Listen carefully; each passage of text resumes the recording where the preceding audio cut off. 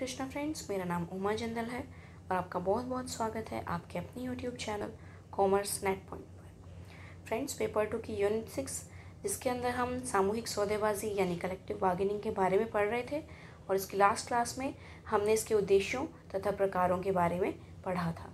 और आज की क्लास में हम इसके लेवल्स यानी इसके स्तर के बारे में पढ़ेंगे कि जो सामूहिक सौदेबाजी होती है, वो कौन कौन से लेवल्स पर होती है ओके? तो आज की क्लास स्टार्ट करने से पहले मैं आपको बता दूँ कि आप मेरे Telegram group Commerce Net Point को ज्वाइन कर सकते हैं। वहाँ पर आपको मेरे वीडियोस के लिंक और पीडीएफ्स मिल जाएँगे। तो अगर आप इस ग्रुप को ज्वाइन करना चाहते हैं तो जो इसका लिंक है, वो मैं डिस्क्रिप्शन बॉक्स में दे दूँगी। वहाँ जाकर आप इस ग्रुप को ज्वाइन कर सकते हैं।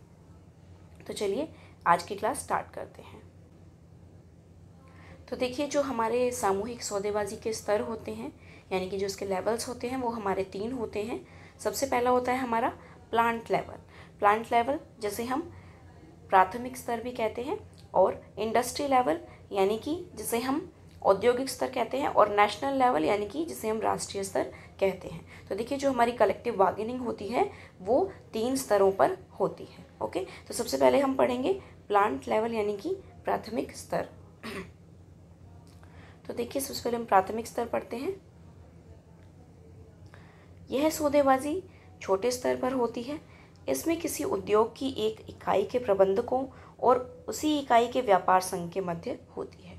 तो देखिए, कोई एक इंडस्ट्री होती है जब कोई एक बहुत बड़ी इंडस्ट्री है, मान लीजिए तो उसकी क्या होती है? उसकी कई सारी ब्रांचेज होती हैं। जैसे अगर मान लीजिए उसका मेन ऑफ़िस जो है वो मुंबई में है तो ज़रूरी नहीं है कि वो मुंबई में ही काम कर रही होगी, ठीक है? तो उसकी बहुत सारी ब्रांचेज होती हैं, जैसे कोई दिल्ली में है, कोई कोलकाता में है, ठीक है? या फिर कोई और किसी के और स्टेट में है तो उसकी बहुत सारी ब्रांचेज होती हैं, ओके? बहुत सारी प्लांट्स होती हैं उसकी। तो जो हमारा प्राथमिक स्तर होता है, यानी कि जो प्लांट लेवल होता है, वो उसकी ब्रांचेस यानी उसकी यूनिट्स पर होता है, ठीक है? तो एक प्रॉपर जो यूनिट है किसी इंडस्ट्री की, चाहे वो आ, कोई दिल्ली में वर्क कर रही है या फिर वो किसी और स्टेट में काम कर रही है तो वो सिर्फ़ उसी लेवल पे होता है ठीक है? तो उसके अंदर जो हमारे आ, जो उसी यूनिट के जो हमारे व्यापार संघ होते हैं, जो उसके प्रबंधक होते हैं, उनके बीच आपस में सौदेबाजी होती है और जो उससे नियम बनते हैं और जो उससे मतलब जो उसमें डिसाइड होता है सौदेबाजी में, वो सिर्फ़ उसी यूनिट पर लागू होता है, ठीक है? उसी यूनिट पर वो सारे नियम लागू होते हैं, जिसके बीच सौदेबाजी हुई होती है। तो देखिए, इसका क्षेत्र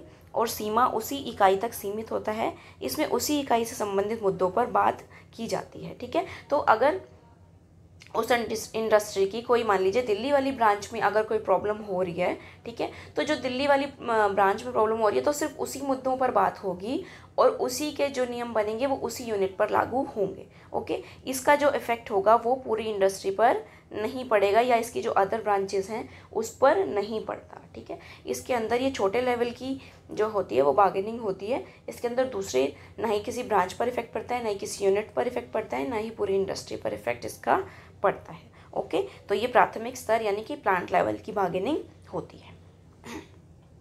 उसके बाद नेक्स्ट आती है हमारी औद्योगिक स्तर यानी कि इंडस्ट्री लेवल ओके तो देखिए, यह सौदेबाजी किसी उद्योग के कई व्यापार संघों और उच्च स्तर के प्रबंधकों के मध्य होती है। इसमें सौदेबाजी में के द्वारा यदि कोई अनुबंध होता है तो वह पूरे उद्योग पर लागू होता है। ओके? तो प्लांट लेवल में क्या था कि वो सिर्फ़ छोटे लेवल पर, यानी कि सिर्फ़ एक यूनिट पर ही उसका इफ़ेक्ट होता था। लेकिन जो इंडस्ट्री लेवल पर बार्गेनिंग होती है, उसमें क्या होता है? उसमें कई व्यापार संघ, यानी कि कई जो हमारी ब्रांचेस होती हैं, उनके सभी के व्यापार संघ इसके अंदर लागू होते हैं और जो उच्च स्तर के प्रबंधक होते हैं हाई लेवल के जो मैनेजर्स होते हैं, वो इसके अंदर इंक्लूड होते हैं। और अगर इसके द्वारा कोई सौदेबाजी होती है, यानी कि इसके द्वारा अगर कोई बार्गेनिंग होती है तो वो पूरी इंडस्ट्री पर, यानी कि इसके अंदर जितनी भी ब्रांचेस होंगी हमारी, चाहे वो दिल्ली वाली है, चाहे वो कोलकाता वाली है या फिर किसी कोई अदर स्टेट वाली है, कितनी भी यूनिट्स हैं, अगर वो पूरी इंडस्ट्री के अंदर तो सभी के ऊपर जो ये हमारा अनुबंध होता है, जो कॉन्ट्रैक्ट होता है, वो लागू हो जाता है ओके यह स्तर उद्योग में एक रूप लाता है इसमें उत्पादकता स्तर, कार्य की दशा, वेतन, अतिरिक्त लाभ जैसे मुद्दों पर सौदेबाजी की जाती है, ठीक है? तो इसके अंदर क्या देखा जाता है? या अगर मान लीजिए वर्किंग कंडीशंस अच्छी नहीं है या कोई वेतन बढ़ाना है, अतिरिक्त लाभ, ऐसे ही जितने भी मुद्दे होते हैं तो ये सभी पूरी इंडस्ट्री पर लागू होते हैं और ये उद्योग में एक रूपता लाता है क्योंकि इसके अंदर सभी यूनिट्स को एक समान वेतन या फिर कोई वर्किंग कंडीशन है या फिर कोई एक्स्ट्रा बोनस है, वो सभी को एक समान दिए जाते हैं। ओके उसके बाद आता है हमारा राष्ट्रीय स्तर, यानी कि नेशनल लेवल तो देखिए, यह किसी संगठन के नियोक्ताओं और राष्ट्रीय संघ के मध्य होता है। यह सौदेबाजी सरकारी प्रतिनिधियों की मौजूदगी में होता है दोनों के प्रतिनिधि अपनी अपनी ओर से अपने अपने मुद्दों पर बात करते हैं और यदि कोई समझौता होता है तो वह राष्ट्रीय स्तर पर लागू होता है, यानी उस राष्ट्र के सभी उद्योगों पर लागू होता है। तो देखिए, जो हमारे नेशनल लेवल की कलेक्टिव बार्गेनिंग होती है, उसके अंदर क्या होता है? उसके अंदर जो राष्ट्रीय संघ होते हैं, जैसे कि व्यापार संघ होते हैं, इसी तरीके से राष्ट्रीय संघ भी होते हैं और जो संगठन के नियोक्ता होते हैं, यानी कि जो उनके मेन ओनर्स होते हैं, किसी भी ऑर्गेनाइजेशन के ठीक है? वो सभी इसके अंदर इंक्लूड होते हैं और साथ ही इसमें सरकारी प्रतिनिधि भी इंक्लूड होते हैं क्योंकि अगर कोई राष्ट्रीय लेवल पर, कोई राष्ट्रीय स्तर पर अगर कोई कलेक्टिव बार्गेनिंग हो रही है तो वहाँ पर क्या होता है, एक तरीके से एक नियम बनेगा जो पूरे राष्ट्र के उद्योगों पर लागू होगा।